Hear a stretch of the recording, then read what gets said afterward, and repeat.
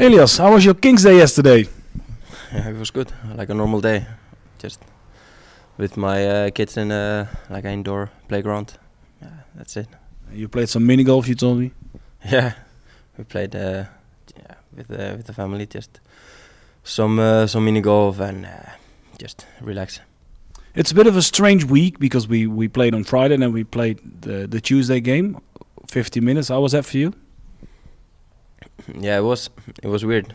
I think the warm up was longer than the game, so no, it was a, it was a, a s- a strange strange week, but it was uh, what do you say? Like it was a good it was a good uh, result for us getting at least one point. That's very important at this moment. Was that was that also the the, the target for, for for that day? Just scoring one goal in the last 15, 60 minutes. Mm, the target was to try to go in and win, press them as much as possible, and just really fight, fight uh, for the goals. And yeah, we got one goal in the in the um, in the end, and yeah, that was enough for one point. And uh, this one point is yeah, very very important. The celebration of the goal was very uh, very intense. Yeah, it was just I think kind of a relief for everyone because it was for me personally I felt like it was just like uh, a second chance kind of after conceding the goal against the against them uh, when the the the game was uh, yeah suspended but to score in the final minute uh, it's always a sweet sweet feeling About your connection with Jort van der Sande, the guy you were playing with uh, uh, up front, what's what's that like? No, it's really good. Uh, I enjoy playing with him. He he works very hard. He creates a lot of chances, and I think we make a good duo. I think we create a lot of chances together, uh, and yeah, it, it's uh, it's a, a good player to play with. You seem to be finding each other quite easy on the on the on the on the pitch.